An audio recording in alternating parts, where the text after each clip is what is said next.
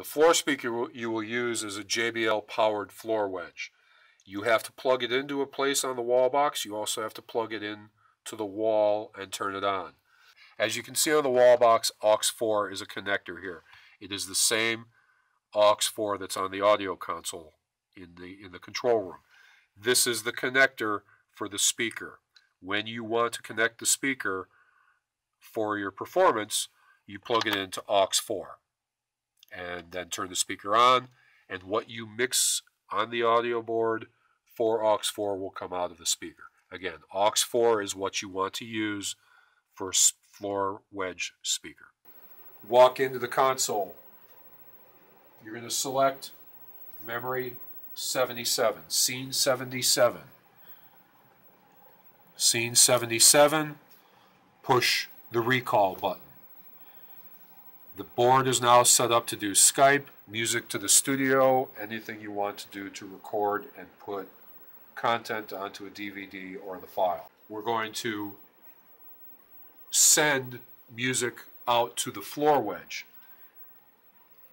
Send to BSP on that wall box, there's a connector that says AUX4. Okay? AUX4 is either, come down here, is for backing track behind the vocalist or musician who's listening to the music, and you play the music off of either the Skype computer or your little MP3 iPad connector.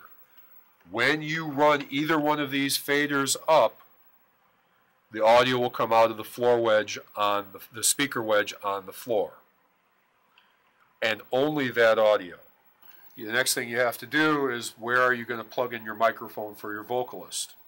We're going to assume you're going to plug it into wall box number two at the back of the studio, and it's going to go into the first mic input, which is mic number nine. Okay? Now, your vocalist want your vocalist wants to hear themselves back in that speaker along with the track. You need to make that setting because we didn't since you didn't know which microphone you were going to use, you have to make this setting. So you come back to the board aux number 4. See, it says aux 4. You've already plugged your speaker on the floor into the connector that says aux 4. This is the module that's sent into that speaker. Push the mix button. If you come down to the board, you already see that your MP3 player is being sent out to that speaker. We now need to send the microphone out to the speaker. So follow from the microphone up and this little knob right here, and you see the, the, the display changing turn it up a little bit. This is the knob you will adjust to the so the vocalist till the vocalist says that's a good level. Let's come back and look at the overall console and talk about this. So now you have set for your recording purposes, you did a mic. There's two different types of mic checks you have to do. There's the mic check for how it sounds in here, which you will do before the talent is comfortable out there. And then there's the mic check so that the talent, where the talent will tell you how they like what's coming over the speaker. It's very important to remember when you set the levels for recording, the microphone and the music, these knobs cannot change. If your singer or vocalist or musical person wants something diff- different levels in the speaker in front of them, we come back to this and we adjust what's going to that speaker. If your vocalist wants less of their vocal in the speaker, turn this knob down. If they want more, turn it up.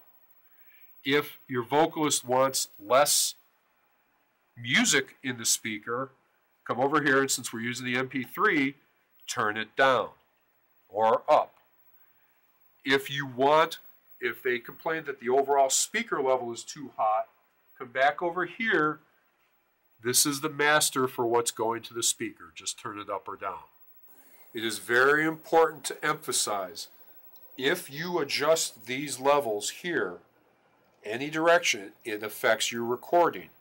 If you are trying to adjust the audio for the speaker on the floor, do not adjust these levels because this is what you are recording. When you move these faders, it adjusts what you're recording and what's on the floor. If you want to adjust what's on the floor, as we've said, you have to come up to aux 4 and make the change, either as a master level for the speaker or as the individual feeds, both the microphone and the music.